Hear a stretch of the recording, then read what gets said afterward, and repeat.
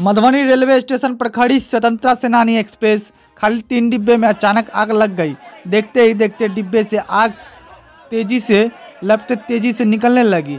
आग से निकलते धुएँ पूरे स्टेशन परिसर में भर गया।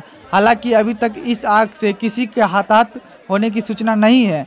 आग लगने के कारण का फ़िलहाल पता लगाया जा रहा है, जो स्वतंत्रता सेनानी एक्सप्रेस जयनगर से चलकर नई दिल्ली जाती है। आइए सुनते हैं इस पूरी घटना के बारे में। क्या कहे रेलवे एसपी?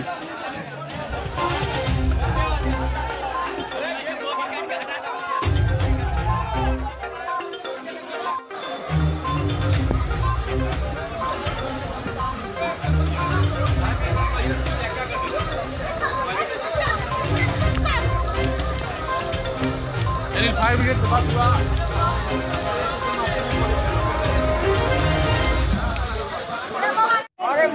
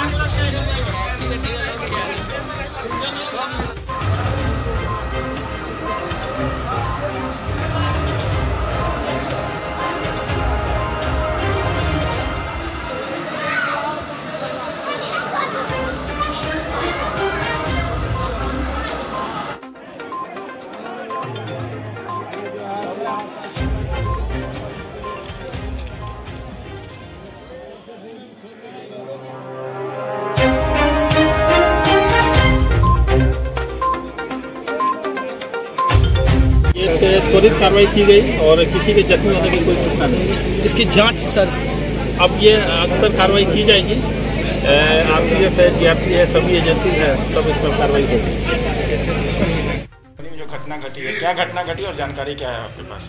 देखिए वो ट्रेन तो खाली ही थी मधुबनी स्टेशन जंक्शन पे मतलब जो यार्ड है उसमें लगी हुई थी और तीन बोगी जो स्लीपर बोगी है उसमें आग लगी है।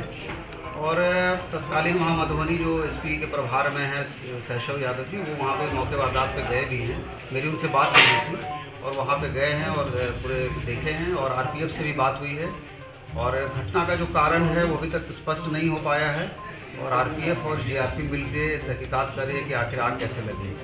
अमूमन सर, जो ट्रेन लगी रहती है यार्ड में तो वहाँ पर नशाखोरी के लोग ज़्यादातर उस बोगी को उपयोग करते हैं। इस तरह पर ध्यान है क्या हाँ पुलिस का? बिल्कुल वो एक हम लोगों का एक जयनगर का पीपी का वो एक अपराध केंद्र भी है। जैसे रेल में रेल थाने के अपराध केंद्र होते हैं तो मधुबनी एक अपराध केंद्र हम लोगों का आता है। तो वहाँ रेल थाने से पदाधिकारी और कर्मी भी पोस्टेड हैं वहाँ पे। तो उनसे भी जानकारी ली गई है तो उनके बारे में था कि वो खाली ट्रेन ही लगी हुई है।